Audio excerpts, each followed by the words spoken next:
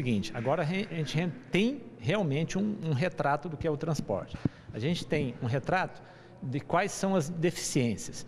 E também, agora nós podemos fazer vários diagnósticos. Por exemplo, na questão das embarcações. Está muito claro que precisa, a gente precisa ter um programa de incentivo a, a, a inovar, ter a renovação da, da frota de embarcações para o transporte passageiro na Amazônia.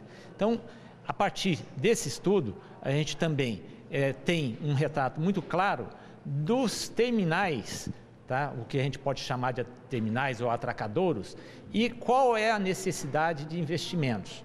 Tá?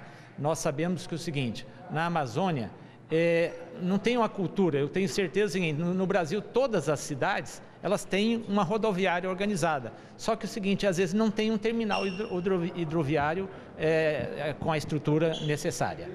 De forma prática, o que, que vai ser feito? Vão, vão chamar os operadores, a, quem opera esses terminais, governo, para melhorar isso? Vai gerar algum estudo? Enfim. Tá. No aspecto da ANTAC, Tá? vai servir para a regulação, para a gente buscar uma melhor eficiência no, na prestação do serviço. Agora, nós vamos conversar com cada estado, nós vamos fazer essa apresentação em todos os estados, mostrando exatamente esse retrato. Por quê? Porque nós regulamos só o transporte interestadual. Nós temos 59 linhas da regulação da ANTAC, de mais de 300 da Amazônia como um todo. Então, o que, que acontece? Nós podemos contribuir com esse estudo com os governos do Estado e o governo federal. Hoje estavam aqui vários representantes do governo federal, Ministério do Transporte, CPL e assim por diante. Bom, o estudo propõe, diz que hoje são cerca de 9 milhões de, de passageiros e quase 5 é, eh, milhões de toneladas. É, ele aponta também que em 13%, esse, esse até 2022, seria anualmente se houver investimento ou já é uma, uma projeção sem investimento? Tá, essa é uma projeção sem investimento da forma com que está vindo. Tá? E outra coisa, é, são 8 milhões, de, é, quase 9 milhões de passageiros, dentro do universo é, de 12 milhões e meio que tem de habitantes a Amazônia. Você vê um universo muito grande. Você fala o seguinte, ah, 5 milhões de toneladas, mas isso aí é o que alimenta os principais pequenos municípios de toda a Amazônia. Na, sua, na, na avaliação do senhor, o, o, o estudo surpreendeu era isso que se esperava? E como o senhor avalia a qualidade? É ruim?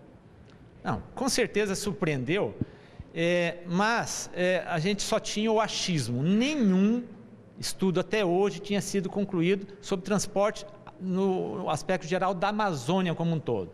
Nós poderíamos fazer, a ANTAC, fazer só da linha interestadual, mas nós queremos é, contribuir para o Brasil para o entendimento desse transporte como um todo. O que pode ser feito para que seja um investimento da iniciativa privada, que seja atrativo lá na Amazônia? Porque é, as pessoas, a gente sabe que na Amazônia há povos muito pobres e se for fazer um transporte de qualidade, vai exigir também um custo maior que vai ser, vai ser ter que cobrar passagens ou coisas ou maiores. O que pode ser feito para que isso torne é, interessante para a iniciativa privada investir? Tá. Eu, eu, eu penso que, primeiro, assim, os governos federal, estaduais e municipais precisam entendeu, atuar nessa área. Tá? De repente, é o seguinte: uh, uh, no Brasil, às vezes, você consegue um recurso para fazer uma ponte, mas não consegue para fazer um terminal. Consegue fazer uma rodoviária, mas não um terminal é, hidroviário.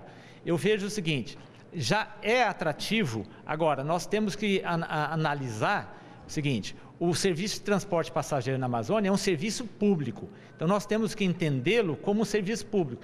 Como que atua o Estado para poder inclusive atrair empresas, até para construir terminais, até para melhorar as embarcações. Eu acho que a presença do Estado, e quando eu falo Estado, tá, parece que é só governo federal. Não.